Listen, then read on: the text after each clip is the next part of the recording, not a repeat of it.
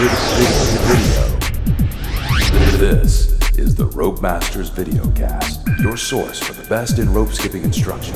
Hosted by world champion Peter Nestler. I've had a lot of requests lately to teach some uh, rope manipulation skills, so for this episode of the video cast, I'm going to be breaking down some of the rope manipulation stuff that I do. Now, basically what I'll be doing is I'll be holding the middle of the rope and spinning around the ends and doing some different tricks in there. For the JV, we'll be doing the basics of it, as well as how to do a crossing motion in it, and then for the varsity, we'll be doing a front and back motion with it. So these are a lot of fun to do. They take a lot of practice. They're not something you're going to probably pick up right away. But once you get them down and you, you get real comfortable with them, they're a real great thing to add to a routine, um, especially if you're just doing more of a performance. Competition, nobody really does this, but as performing, they just look kind of cool. So uh, I do them a lot in my shows because they're not super hard to do. They just take a lot of practice and skill to be able to get there. JV skill. The JV skill, we're going to be doing some rope manipulation skills. Now, these are something that I get a lot of requests for. People don't really do them a lot, so I'm going to kind of break down the basics of it here for the JV.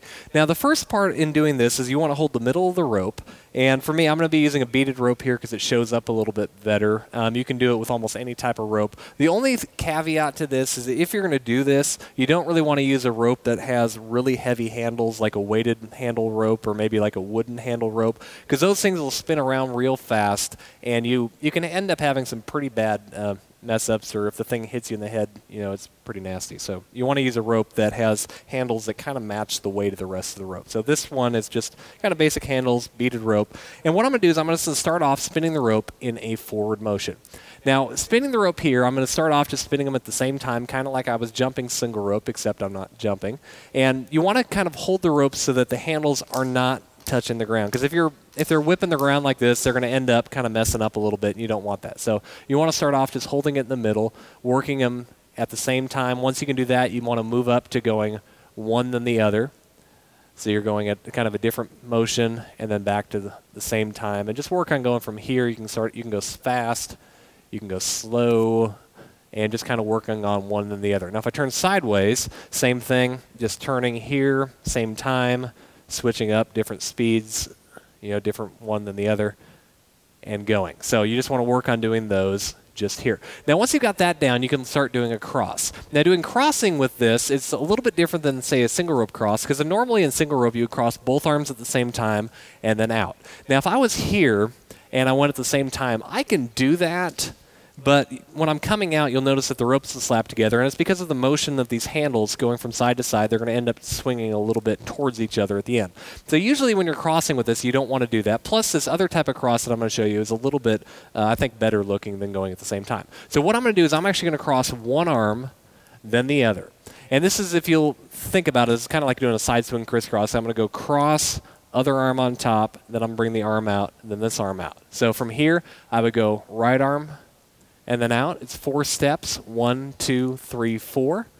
And I can do that a bunch of times with my right arm leading. Once I can do that, you want to switch up to the other arm leading, which would be my left arm. Go one, two, three, four, and out here. So I get that down pretty good. So you just want to kind of work on, you know, back and forth between these, going on them.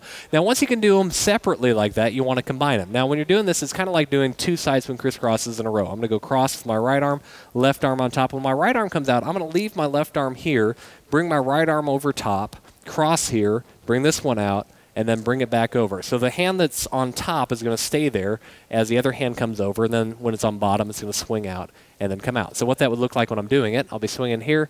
I'm going to go right arm, leave my left arm there, leave my right arm there, and kind of just working on here. So you'll be doing two swings on one side, and then you'll switch over to the other side.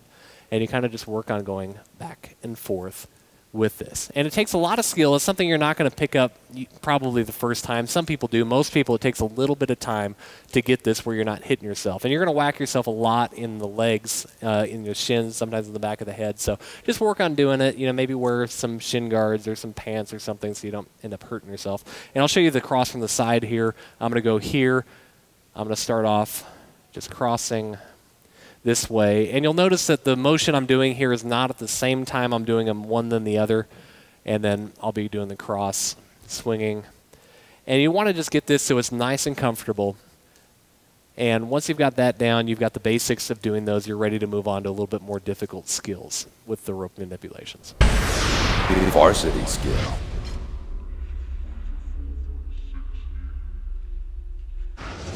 For the varsity skill, we're going to be doing a front back motion with this rope manipulation where I'm holding the middle of the rope. I, have had a lot of requests on how to do this. And this one is going to seem kind of simple, but it leads into a lot of other skills that you do with rope manipulations. And you need to be pretty good at this to make this work. So the first thing that I'm going to do here is when I finish up, it's going to end up looking like this. You can either do it with a motion in front, or you can go here where every turn switches front back. So the rope will be going one rope's in front, one rope's in back uh, while I'm doing this. Now to learn how to do this, the easiest way to do it is to start with one arm at a time. So if I start with my right arm, I would swing the rope first of all towards me. Now you'll notice here that before we were spinning the rope like side of my body, now I'm spinning the ropes uh, basically towards each other. So you want to start off getting this motion together. Once you've got that down, you're ready to do this. So you'll start off swinging this rope here one at a time. Now I'm going to swing here. I'm going to take a spin, go behind my back, and then front. So you want to go front, back, front, back. And once you've got it, you kind of sometimes you'll move your whole body when you're first learning it, but you want to work up to you where you're controlling it mostly with your wrist. I'm kind of swinging it a little bit front and back behind me. And if I turn sideways here, you'll notice I'm going here. And the rope's mostly just in front of me and then behind me, using my wrist and my turning my hand over to get it going. So once I got it with my right hand, then I want to try it with my left hand. Same thing here, front, back, and just get this motion nice and easy. Once you've got that down, now you're ready to do it with both arms. Now, the first thing you'll do is you'll start with your hands together. Now, this trick, sometimes you can turn where one arm is going, then the other. This one, you want to have them going about the same time. It's kind of like you're turning pop-ups or double unders inside a double dutch. So you'll be turning here, and then from here, we're going to pick, maybe, maybe so we go with the right arm behind first and then the left arm. And it's all at the same time. You don't really change the motion of the rope or the speed of the rope at all. It's just kind of keep the same pace. And we just go with one arm in front, one arm in back. And you go with, I start, usually the easiest way to start is just with one turn in the middle and then go behind the back. And once you can do that, you can switch up where you're going a switch on every single one. And you'll notice here that I kind of shift my body weight as I'm going. Whichever handle is in back, that's usually the way that I'm going to turn my body. So if I'm, my left arm's in back, I'll turn to the left. My right arm's in back, I'll turn to my right. So I'll kind of just sort of spin here. And this makes it a little bit easier, especially when you move into doing here. And it looks a little bit more like you have more of a fluid motion if you move your body properly with this. So I'd be spinning here around while I'm doing it.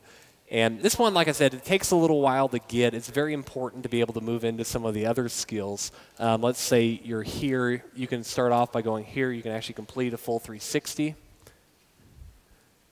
But it's all based upon just doing a front and back motion. So from here, I would kind of just complete a turn but it's all based upon this. So you just want to work on doing this over and over again until you get that down pretty good.